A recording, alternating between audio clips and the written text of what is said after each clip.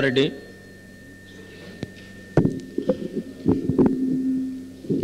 Speaker sir December రెండో తారీఖు నాడు ఉదయం డాక్టర్ మర్రి చెన్నారెడ్డి గారు అకాల మృతి చెందడం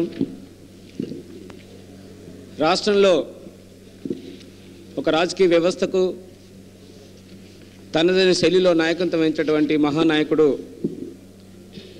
మరణించడం సందర్భంగా మరి నేను రంగారెడ్డి జిల్లా వాసిగా డాక్టర్ మర్రి చెన్నారెడ్డి రంగారెడ్డి జిల్లాలో నా నియోజకవర్గంలో పెద్దమంగళారం గ్రామంలో జన్మించట్టు జన్మించి అంచెలంచెల తన రాజకీయ జీవనాన్ని జీవితాన్ని ప్రాపించినటువంటి ఒకసారి అతని దగ్గరగా అధ్యయనం చేసినటువంటి పరిస్థితిలో డాక్టర్ మర్రి చెన్నారెడ్డి గారు రాజులేని పోరాటం సాధించే ఒక యోధుడిగా రాజులేని మనస్తత్వం కలిగినటువంటి ఒక వ్యక్తిత్వం కలిగినటువంటి మహానాయకుడిగా భావించవలసిన అవసరం వస్తుంది. నేను సైద్ధాంతికంగా విద్యార్థి నాయకుడిగా యువ నాయకుడిగా రంగారెడ్డి జిల్లాలో అనేక ఉద్యమాలు నడిపినటువంటి పరిస్థితిలో ఉద్యమాల పరంపరలో ఆయన కలిసినప్పుడు ప్రజా సమస్యల మీద పోరాటం సాగించే ఎవరైనా తను ఒక పాజిటివ్ డైరెక్షన్లో స్వీకరించే మనస్తత్వం కలిగినటువంటి వ్యక్తి.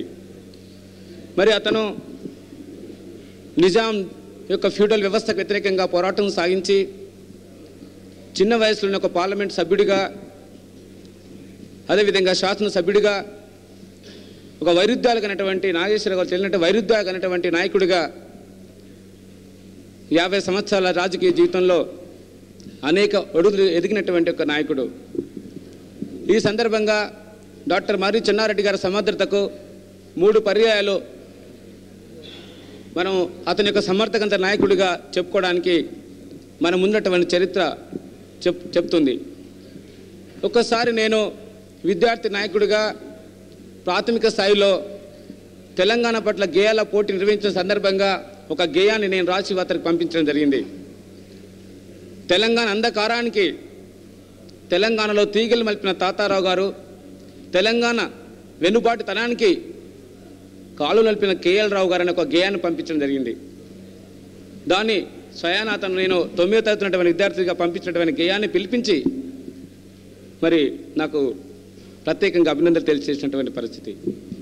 మరి ఈ సందర్భంగా డాక్టర్ మర్రి చెన్నారెడ్డి గారు పంతొమ్మిది వందల డెబ్బై ఎనిమిదిలో కాంగ్రెస్ పార్టీకి సారథ్యం వహించి జాతి మొత్తం కూడా జనతా ప్రపంచంలో కొట్టుకున్నటువంటి కాంగ్రెస్ను ధైర్య సాహసాలతో విశిష్ట వ్యక్తిత్వం కాంగ్రెస్ పార్టీకి నాయకత్వం వహించి మరి కాంగ్రెస్ పార్టీని రాష్ట్రంలో అధికారులు తెచ్చినటువంటి ఘనత అతని సమర్థతకు ఒక పేరుగా చెప్పుకోవాల్సిన అవసరం ఉంటుంది. అదేవిధంగా ఎన్టీ రామారావు గారు సృష్టించినటువంటి ప్రపంచంలో కాంగ్రెస్ పార్టీ మరి అడ్రస్ లేని పరిస్థితిలో పంతొమ్మిది వందల ఎనభై తొమ్మిది సంవత్సరంలో పెనుగాల్లో కొట్టుకుపోతున్నటువంటి కాంగ్రెస్ పార్టీ కూడా సమర్థవంత నాయకత్వం వహించి రామారావు గారు సృష్టించినటువంటి ఒక ప్రపంచానికి ధైర్య శాస్త్రాలతో కాంగ్రెస్ పార్టీకి సారథ్యం వహించి మరి ఆ రోజుల్లో కూడా అతను కాంగ్రెస్ పార్టీ రాష్ట్రంలో అధికారించేటువంటి ఘనత సమర్థత అతనికి ఉందనేది చెప్పాల్సిన అవసరం ఉంటుంది.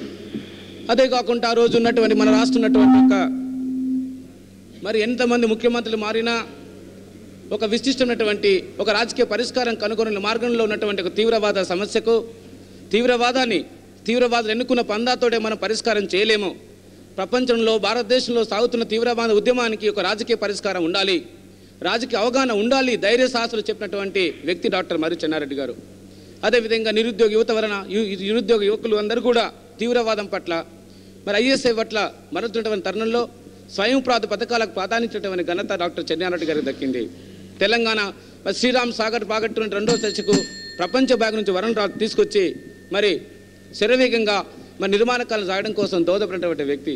తెలంగాణలో మరి ఉద్యమ పోరాటం నడిపి కేంద్ర ప్రభుత్వం తెలంగాణ ఏంటంటే చూపించినటువంటి ధైర్య సాధనతో సాగిన పోరాటానికి సిక్స్ పాయింట్ ఫారంలో అందించినటువంటి ఘనత కూడా డాక్టర్ మర్రి దక్కింది.